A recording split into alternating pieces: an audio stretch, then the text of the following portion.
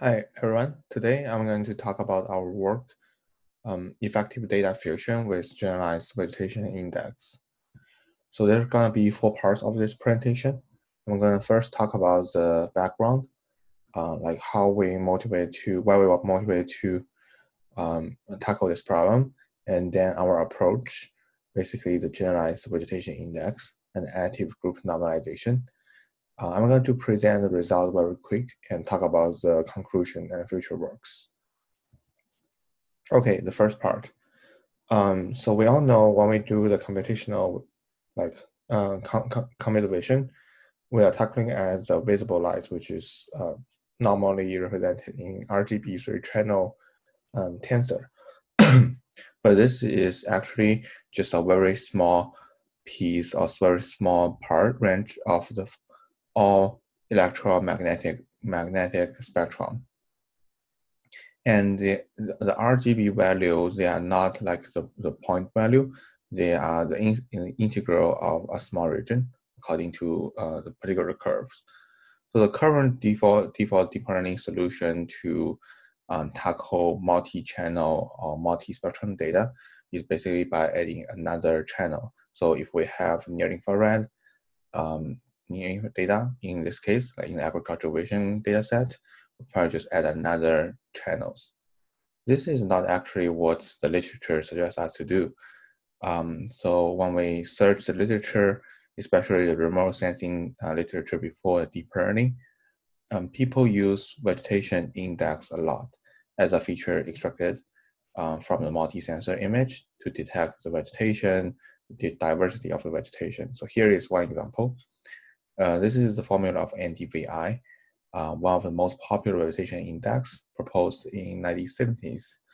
Um, here we normalize the near infrared um, versus versus the, the red channel um, because like the, the reflection of vegetations um, are largely um, is pretty sensitive in near infrared than red.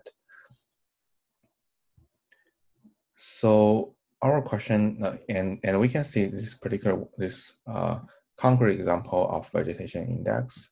So in the, in the top left image, we can see, okay, this is RGB image. Uh, it's, it's, it's a bit hard to see anything um, here, right? Uh, we can see there's some vegetation here, but uh, not quite uh, in the other, other parts of the image. And here is the near infrared channel but by just looking at the near infrared channel, it's pretty highly correlated with the red channels. However, if we do the uh, ND, the vegetation index, uh, here we use the vegetation conditional index, we can see the pattern of some uh, weed clusters uh, and double plant. You can see like there's there's some shadows um, like although they are not like green in the original RGB image, we can see there are still uh, some response response is, is there still some uh, responsive value in the conditional vegetation index channel. And this is the ground truth. So you can see like the, the yellow part is actually the double plant and the blue denotes the weed cluster. So weed cluster is pretty obvious.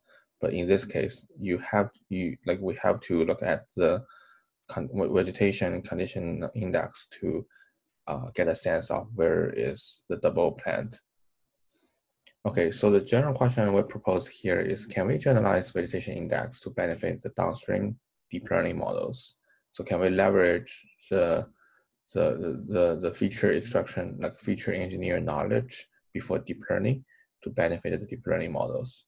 This question is actually break up into two parts. Uh, the first one is how. How can we generalize the vegetation index?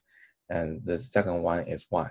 Because people might wondering, like if deep learning models, they have so much more capacity than previous machine learning models, can they actually extract those features by themselves?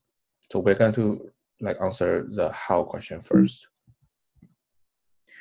So here we put together, um, we're looking into uh, 12 available vegetation index uh, that's defined on RGB and near infrared channel.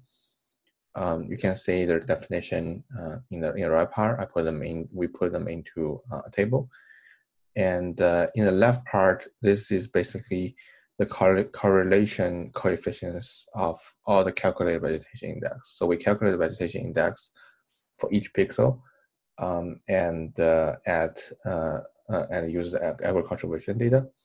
Do as, and, and we calculate the, the, the correlation between different kinds of vegetation index.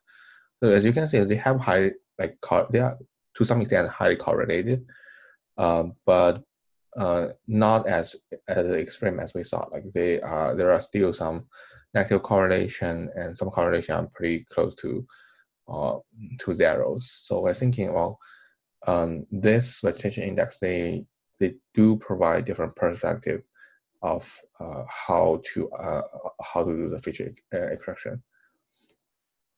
However, if we take a look at all those definitions, you can say um, there are some kind of general form of those vegetation index, right? Basically, you did some linear transforms of uh, the three channels, possibly, possibly some of them, and you normalize them with a, a denominator, right? Uh, also a linear transform of, of different channels. Um, so most of this vegetation index can be written out as uh, the generalized vision, uh, vegetation index expression here, right? You have a linear transform of your four channels, RGB and near infrared, and you normalize it with another linear transforms of those four channels. Uh, by saying normalize here, I mean uh, divided by uh, linear transforms of the, uh, the, the four channels. Uh, this makes us thinking, okay, if we are able to learn the parameters of deep learning, like do the feature recognition, can we learn the parameter of alpha and beta, uh, which is the linear transforms of uh, those four channels. Uh, so we propose this GVI module, which is a generalized vegetation index, right? X here denotes the four channel inputs or maybe multi-channel inputs. And alpha beta is a parameterization of how you uh, normalize the feature, normalize the, the image across channels. Okay, the next question I want to answer or at least explore is, um, can um, do we really need those feature engineering? Do we really need this generalized feature index? Can deep learning, uh, basically ConvNet uh, with BatchNorm, do the same thing for us? Uh, so we did a like a toy example or um, um, examination.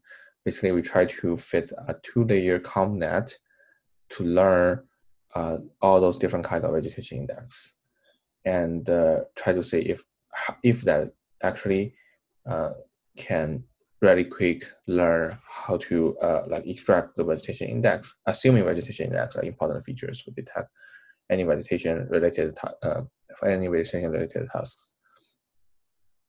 So as we can say, like of efficient chaining, there are still a lot of deviation from the ground truth like if you use batch normalization. So batch normalization is doing some normalization. You might assume it's, it's, it's actually uh, helping to normalize as what we did in the vegetation index that we saw. Uh, however, it didn't in this case. Um, it the the normalization we did is across channel, which is to some extent more like the group normalization or instance normalization in a deep learning world. So we propose this additive group, uh, group normalization. So it's a linear combination uh, with a learnable parameter of group normalization and batch normalizations.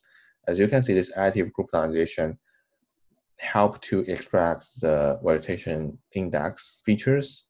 Uh, in this case, help uh, learn to fit those vegetation index much faster. Um, and uh, with with with uh, much smaller mean L1 errors. Here the L1 errors are denoted in a percentage, like five here is the 5% error, uh, L1 error, relative error. Okay, so this is our, uh, by plugging the gen generalized vegetation index and our additive uh, group normalizations, we do say the consistent uh, improvements from our baseline models. So as you can see, uh, if we plug in the vegetation index, there's some improvements over uh, double plant and uh, uh, standing water and waterway and the weed clusters. if we use our uh, generalized vegetation index, which you don't need to specify the form of uh, the, the formulation of vegetation, definition of vegetation index, um, it achieves better results. And uh, especially it improves a lot on the double plant. And if we further use our additive group normalization, we can see that actually is the best of the result of all the four experiments. And uh, uh, it improves a lot over the planter skip and weed clusters. Okay, so in conclusion, we want to say like the generalized vegetation index, we have seen that enhance the model performance and our additive group normalization further stabilize the training performance. Um, it's still, there's still a lot of work to do uh, because we are, we are just doing this, uh, we, are, we, are, we, are, we, are, we are implementing the experiments, we are running the experiments over the agricultural vision dataset only. Um, there are several uh, vegetation related detection classes in this dataset, but we will allow to see the result uh, over a more broader uh, list of tasks. And uh, we only uh, experiment that with um, that certain type of architecture, which is DeepLab base um, plus uh, efficient net in this case. And I think that concludes my presentation and uh, thank you all.